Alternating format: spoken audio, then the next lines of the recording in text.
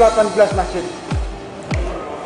Masing-masing masjid kebagiannya dua sub dua sub tinggal ukuran masjidnya.